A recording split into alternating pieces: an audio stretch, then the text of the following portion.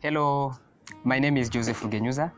Southern New Hampshire University's Global Education Movement student, pursuing my Bachelor of Art in Management with a major in Public Administration, participating in SNHU Global Days of Service to share with the world what is happening in my community and how uh, I stopped uh, the situation in my community, but also sharing why community intervention matters. When the COVID-19 broke out, uh, no one was prepared. And to cope up with uh, the unexpected situation, it was not easy for everyone because we live uh, a life whereby it is a community and one's problem is others' problem.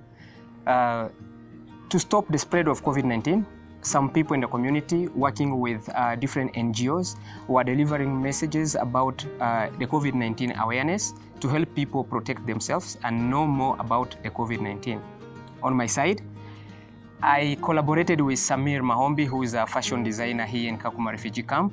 Uh, together with a team of five, uh, we were making face masks uh, that we distributed to people for free. Uh, we made up to over 6,000 face masks and we distributed to different NGOs, uh, especially those having their people in the community doing community awareness, but also door to door in the community, both the Kakuma refugee and also the host community. Uh, we also distributed to crowded places like food distribution center and where they keep uh, uh, orphans to save the community. In the same situation, uh, I came up with a community-based organization with uh, 10 members. Uh, together, the, the organization itself, we named it Talk for Them.